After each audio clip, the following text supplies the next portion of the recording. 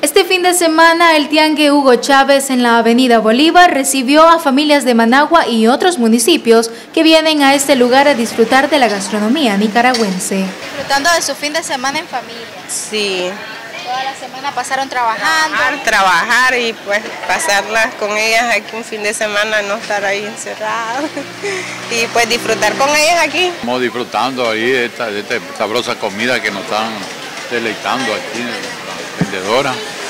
Eh, también les invito a los demás que vengan a ver al tiangue para que miren que accesible está la comida a buen precio y que los nicaragüenses consumamos lo nuestro.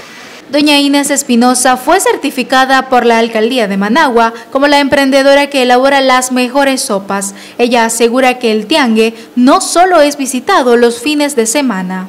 Tiangue siempre es visitado porque es un lugar agradable, ¿verdad? Seguro sobre todo, los precios accesibles tratamos de hacer cada día lo mejor. Invitamos a las familias nicaragüenses que nos visiten en el Tiangue, que aquí les ofrecemos sopa de costilla alta con cola y chombón, sopa de gallina con albóndiga, sopa de queso, también tenemos quesadillas, tenemos burritos, indio viejo y todos los refrescos naturales derivados de maíz, además que ahora también ofrecemos refrescos de frutas naturales. En este espacio existen más de 20 negocios que dinamizan la economía del país a través del negocio gastronómico de lunes a domingos de 8 de la mañana a 9 de la noche. Ana Sofía Mora, TV Noticias.